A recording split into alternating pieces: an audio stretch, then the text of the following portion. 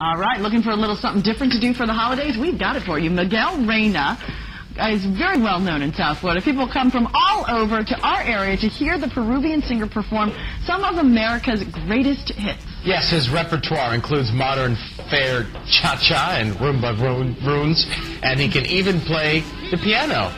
Look at a video. Look at some video right here. he right. performs every Thursday night at, to a packed crowd, and he has developed a very loyal following. Listen. Yeah, unbelievable. I believe he's the best keyboard piano player in all Florida. It's something that makes you peaceful. And I love following his music. He's the greatest musician around. All that, and he's here live in our studios. That's awesome. Welcome. What a Thank you. nice holiday treat for people to get to hear you sing tonight. Well, the whole thing is that what we're trying to do is to preserve the music that's harmonious. It has harmony, it has love, has freedom, has peace. And what kind of music do you sing? You say you I sing do 40s. Uh, 1940s. I do Frank Sinatra, Tony Bennett. I do Ferrante and Teicher. Theme from the Apartment. Theme from Exodus. All the music there was uh, in the 40s, 40s and early 50s. That is very healthy for people. The, the problem with, with, with life is that life is very stressful. Right. Brings a lot of fear.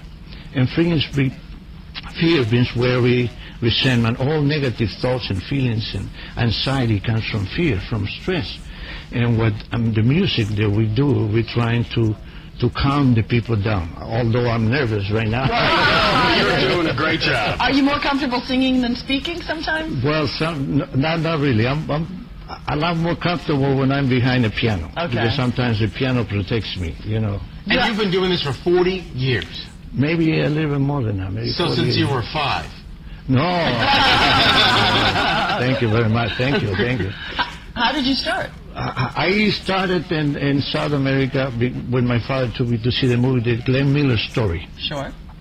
and uh, Anchors Aweigh, and all that beautiful, all the beautiful movies from that era.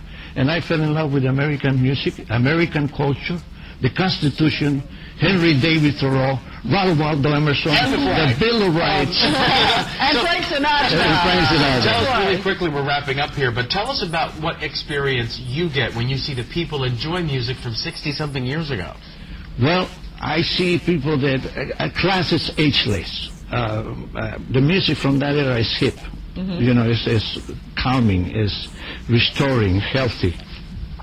And, and people have, they love it, they love it. They love peaceful things, uh, peaceful things like, uh, like an organization, Friends of Mine, they are, and, and World Peace One. Right. They, they, they're an organization because they want to create peace. They want to create harmony. They want to create love. They want to create things that are going to bring, like like Miss Universe. That's right. That's right. There we go. Yeah. Well, you spread a lot of love and you spread a lot of harmony. Thank you so much for coming. Thank you We're very much. see you. Thank you. I would love that. We'll be right back. I want to be around to pick up the patients.